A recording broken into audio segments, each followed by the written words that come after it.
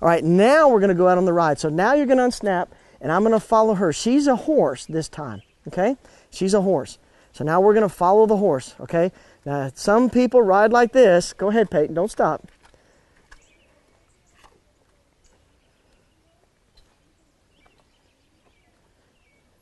My horse ain't moving. Okay, you can stop now because we're way behind. Why isn't my horse moving? That means I have a good horse. If I get on a horse and it starts going somewhere, I'm in trouble, especially if I can't ride well. Okay, so I'm going to give her a command to go. Oh, now she's moving. Lord, let this horse do everything it's supposed to do. Now, some people actually ride like that. That's their first prayer. My horse is running out of gas. All right, don't walk too fast now, Peyton. All right, now, see, my horse automatically is tailgating. Did you see that? She, she's a tailgater. Go ahead, stay in front of me. Now, I'm going to show you what we need to do. My horse is tailgating, so instead of grabbing both brakes, I'm going to grab that brake. Did everybody see me grab my right brake? I'm going to do it again. Instead of grabbing both brakes, okay, yeah, go, go to your left a little bit. You don't want to get in that mud. I'm going to use my right brake. Why my right brake? Because I have a fence on my right hand side. A human is born to do both brakes without any help from anybody. You're born to do that. You'll always pull back with both from birth. What we need to learn is how to stop with one. We need to train ourselves that one brake is better than two. Okay? And we'll explain to you why. So if my horse is tailgating, I'm going to put my brake on there. And then, see, I'm telling her, you're walking too close to that horse. See, once again, brake and then release. As soon as I get what I want, I release the pressure. There. That's what we're trying to do. We're trying to get the horse to listen to us, and we don't want her to tailgate. Now, if I was going clockwise in here, which brake would I use? The left one, because the fence is on my left side. Okay? Now, when you go up a hill, you're going to lean forward. That's going to help your horse's back. When you go down a hill, you're going to lean backwards. That's going to help you. The horse doesn't care. So leaning forward is important for the horse. Leaning backwards is important for you. Now, you obviously from the beginning you don't want to ride like I showed you there. Neither do you want to ride like this. Whoa, whoa, whoa, whoa, whoa, whoa, whoa. Oh God, she's moving. Okay, we don't want to panic ourselves because what are we going to do to our horse? Yeah, if you're the alpha and you're panicking, what do you think this beta is going to think? Well, let's just relax. No, she's going to say, let's get out of Dodge. Something's happening here.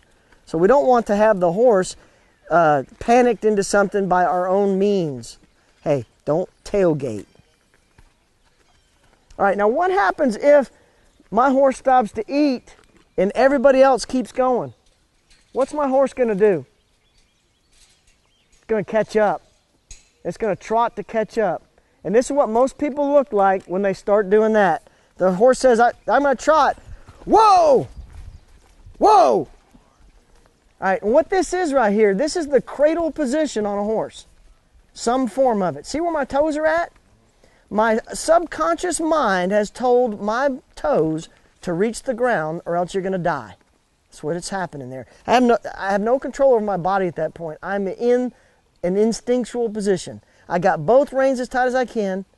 And see, she's being nice to me. See, I've got them on and I'm never going to let go of them because I'm trying to save my life. My toes are down. What my toes do is down is they automatically release my whole body to go into the cradle position. That's what happens. So we're going to fix that when we learn how to ride better. So what happens here is let's say my horse stops to eat and I let her. You don't have to let him.